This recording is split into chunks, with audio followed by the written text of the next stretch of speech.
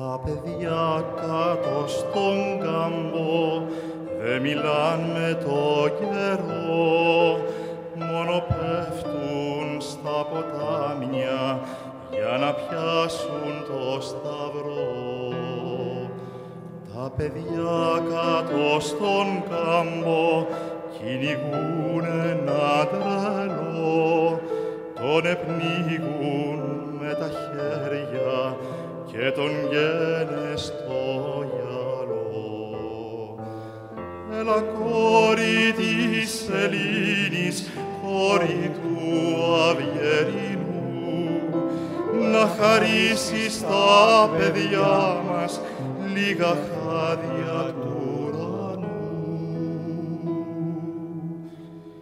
Τα παιδιά κάτω στον κάμπο κυνηγάνε τους αστούς, πετσοκόβουν τα κεφάλια από εχθρούς και από πιστούς.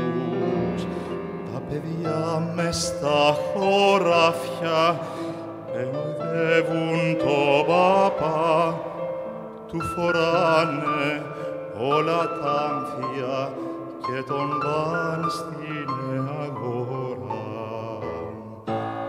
Έλα κόρη της Ελλήνης, έλα κι άναψε φωτιά, κοίτα τόσα παλικάρια πως κοιμούνται στη νυχτιά.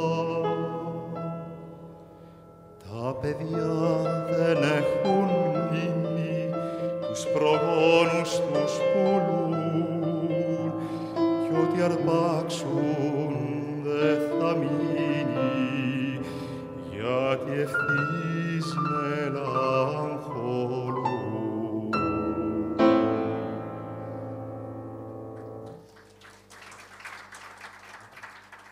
Ξεκινάμε με Μάνο Χατζηδάκη.